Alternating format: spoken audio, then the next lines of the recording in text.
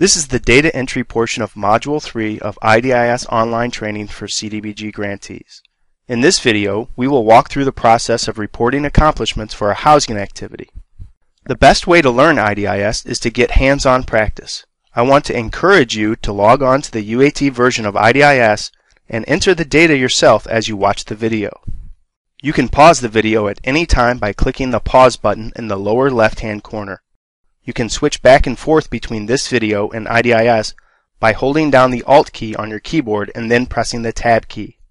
If you're not already logged into the UAT version of IDIS, pause the video at this time and do so now. You'll know if you are in the UAT version if you see UAT at the top of the screen. There are directions on accessing the UAT version of IDIS at the bottom of the login page and in Module 1 of this course. This video is part 2 of the housing module. If you want to do the data entry for this tutorial, you need to first complete the Housing Activity Setup exercise. I'll be using the data found in Case Study 2 of the course material. You can use this data as well or simply make it up as you go along. In the previous video, we set up the housing activity for an emergency repair job at 456 South Cedar Avenue. We then funded the activity and created a drawdown. It's time to go in and report accomplishments for this activity and update its status to complete. As always, we start at the home page of IDIS. If you want to follow along in the manual, we are in Chapter 7 for the first few screens, and then we will skip to Chapter 11 for the housing specific screens. Right now, we are on page 7-1 of the manual. Okay, to report accomplishments for our activity, we need to go to the Projects Activities module in the navigation menu. The system by default shows the Search Activities screen. This is used to find existing activities in the system. If you know the IDIS activity number, that's the fastest way to find the activity. If you don't know it, you can use any combination of the other search fields or simply click Search to get a list of all of your activities. Once the results come back, you will see your options on the right in the Action column. We should see Edit and View. The View function will let you look at the data but won't let you change anything. We want to be able to input accomplishment data, so we will choose Edit. This is the same page we saw when we added the activity. We have two fields we need to update here, the activity status and the completion date. However, the system won't let us update these until we provide the accomplishment data, so let's do that first. If you are following along in your manual, we are now in Chapter 11.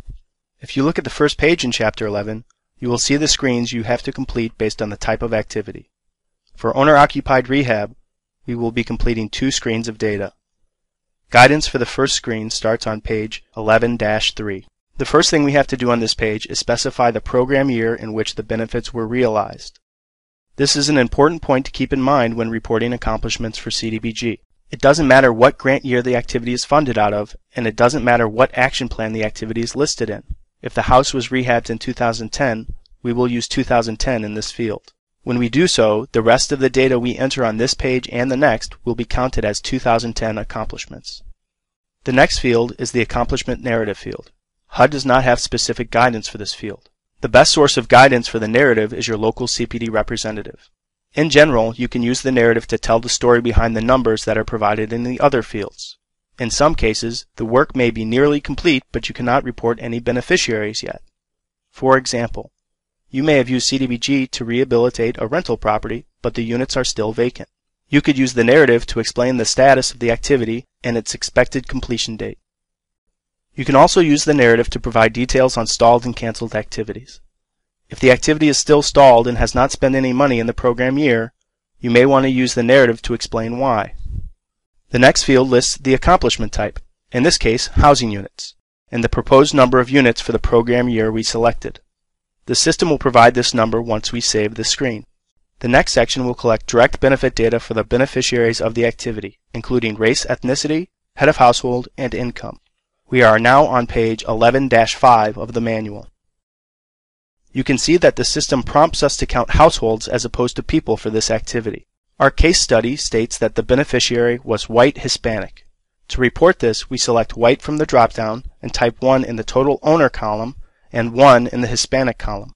If there was another beneficiary of a different race, we would click on the Add Another Race button, and the system would give us a second row to input additional data. At the bottom of the race table is a row to report the number of female-headed households assisted. In the case study, the household is not female-headed, so we can leave this blank. The next section collects income data. Our case study tells us the beneficiary was low income, so we type a 1 in this field. Let's click Save and Continue. When we try to save the data, the system will check the race and income totals to see if they match. If they don't, the system will return an error and prompt you to correct the data. If all is good, the system will move us to page 2. If you are following along in your manual, we are in chapter 11 on page 11-9. The second page collects performance measure data. Performance measures provide more detail about who the beneficiaries are and what type of work was done. These will change based on the type of activity you undertake.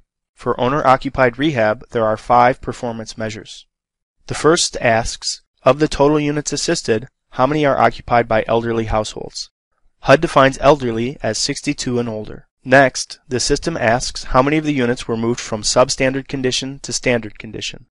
In other words, how many units had code violations that have been resolved through the rehab. When reporting Section 504 units, keep in mind that the threshold for reporting owner-occupied rehab is different for rental rehab.